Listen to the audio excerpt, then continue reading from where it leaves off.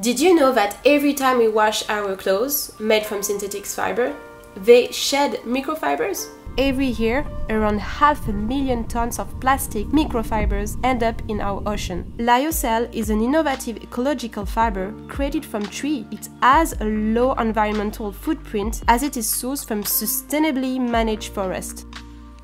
These wood chips are turned into cellulose pulp using non-toxic chemicals which are captured and reused in a closed-loop system. This wool pulp is then dry so that it resembles fluffy cotton. Finally, it is spun into yarn which is then used to make a fabric.